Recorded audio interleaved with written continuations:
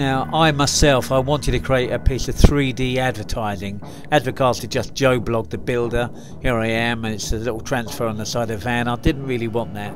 And I've just come back from America, and what I actually wanted was to create something like the Americans, know, in not quite such a brash way, or, well, I thought, yeah, well, why not? If I'm going to advertise, then do it in a three dimensional way and make a real splash. I have a brand new van here, and I brought it back to my studios made a little crewman top myself at exactly the right height I wanted and I rubbed down the surface of the van. And quite a scary thing buying a 12,000 pound truck and then rubbing the surface of it which then made it um, uh, the insurance invalid. Quite scary I enlisted the help of my friend, uh, my old school friend called Gary Constable, and he's a fantastic airbrush artist, and he's great with custom cars, and he now actually works in Michigan or Detroit, and he's doing custom cars all around the world for, for everyone. He, he's really successful. So I got him to give me a, a bit of a hand on this and come up with some concepts as I wanted the whole thing to visually work from every direction and also incorporate my logo and I wanted to entice people to walk around the truck so they saw the whole thing instead of just viewing it from one side which I think Gary done really successfully. Right Gary, so far can, can you give us a process of what's happened? Yeah, so so far we're starting to sketch it out. Um, so the first thing we do is the pink, the pink breaking away. So we've masked up all the bottom. This is the master tape at the bottom like, like splitting effect. So the top, so we said before, the top is going to be the pink, then when the margins have it, that's going to be the blue, like the actual game. Then um, we've got all the AHs, the logo drawn out on the masking tape. I mean, not only did I want to, to create sort of lots of colours and I wanted to make it stand out from any other kind of advertising trunk, but I also wanted to make a real statement. And you know, I wanted to say, "Wow, who is this company?" And I wanted my logo, and and at the time we never had websites or anything like this, so I stuck um, my number really, really clearly on it. Um, but there was a lot of masking up and spraying and masking up again, and it's quite a, a nip and tuck process.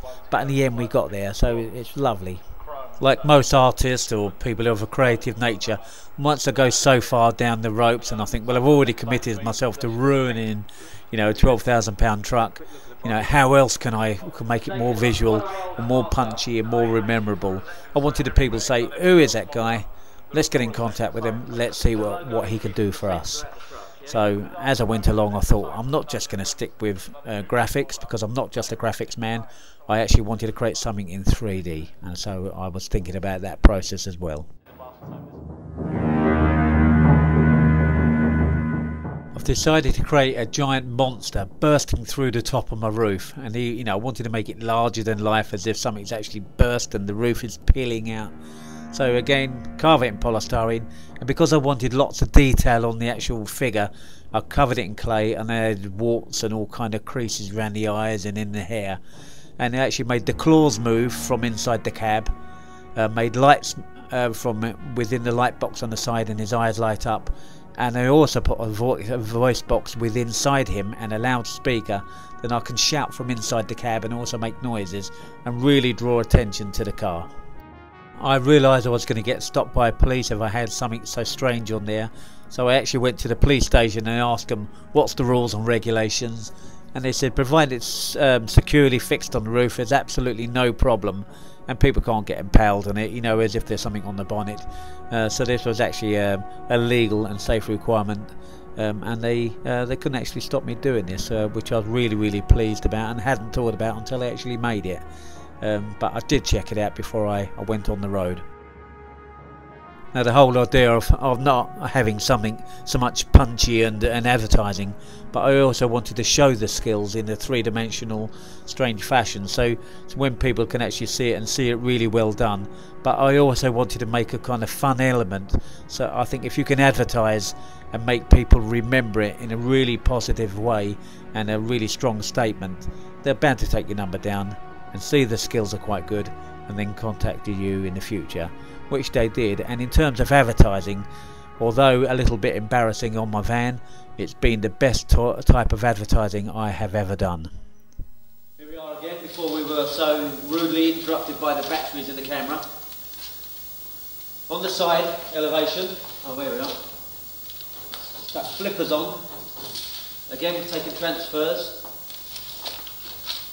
we mask them up and we put them on the front and they're going to be different colours. Just to escape from the, the pink and the blue these are going to be like yellows and blacks and whites. And they're going to have nice bits of sheen on top of the gloss. Masking up as normal. We'll come around this way? Over to the other side just to show what's underneath in the opening. We've incorporated as well. Uh, here's one look almost done. Can you see that? That's getting there. It looks more chrome like this is very much Gary style, this sort of soft air, airbrush work. But I think just we're depicting sort of small areas of it, just to bring it out a little, to make it sharper, a little bit more punchy. This is how it all works, letting the tricks of the trade out. How say thee, Gary? Very slowly. Very slowly, because no, we won't tell people why. Right, so as Aden said, that's where we are so far. So next step is for me to start doing the grey. So we've done the blue on the lettering. So we're doing the grey here now, as though this was actually... um, as, you, as you know, it's very hard to work for him because it's completely fucking stupid all the time. Can't get no sense out of him whatsoever. So I think I should be paid extra just to work with him. Gary, can you be And sensible? You, you, know- you know you're very childlike. This here, Gary finds it very difficult to uh, actually spray when his hands are like that. yeah, very hard. Oh, can you show your airbrush because we, we, we want to see some All right. Yeah, Gary, if you don't know what an airbrush looks like. Shit. this, this is, this is the airbrush. Very, it's very much like um, a very small spray gun. It's like the same principle, but on a lot smaller A scale. pen with air. a pen with air basically, and you can get the, the fine very very smooth. Um, it's even better because I've actually got Aden's head on it. You can get the fine very, very smooth. Very very smooth. Can you define that, Gunnar? Define? No, I can't. So No, but once it's done, and also what you've got to know is once the, the, the truck's actually lacquered, it completely transforms it because you're not seeing all the, you're seeing it flat, it's very not, not a lot of shine. But once it's lacquered, it's lacquered, it brings everything to life. On this particular spot here, if we can see there, can you point to a couple of those little ones at which These it's got the impression as if you can slide your hand like underneath them. Shading. There's like an inch is un, like between the shading and the pink. So, And this will be the same also, we have a chrome ball here, and that's actually sitting on top of the pink.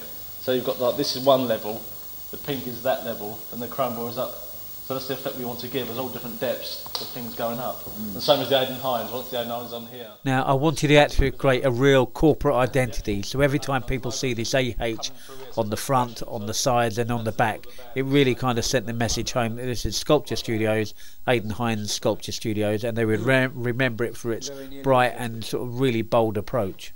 Right, thank you very much, Gary. And today is the last day of 1992. Hey! Have a happy and a very Happy prosperous New new year. Year! Okay.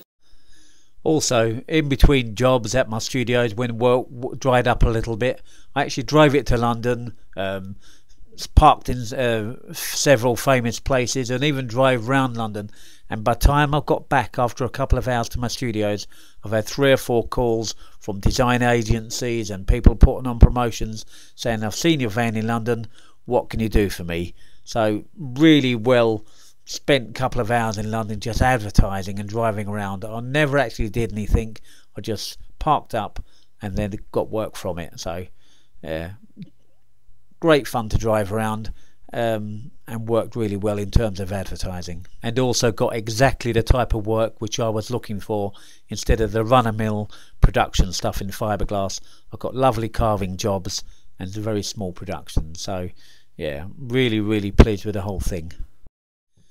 I think as a young man and, and a relatively naive young man, um, or anyone um, in business, um, you actually take chances uh, and you don't really know what the consequences are or you don't really know what the benefits are at that stage. You just know you want to do it and you take the, the bull by the horns and you get on and do it. I think if I if I was an older man buying a brand new truck for twelve thousand pounds and, and knowing with all the pitfalls and all the ups and downs, I probably wouldn't have done it but uh, as a young person you take on these things and you kind of you do just get on with it and you don't think about the bad things you just think about the good things and enjoying it. And i think this is absolutely perfect because if you make things like this uh, as a young person it's worth taking a risk because you're, you're young enough to bounce back from these things.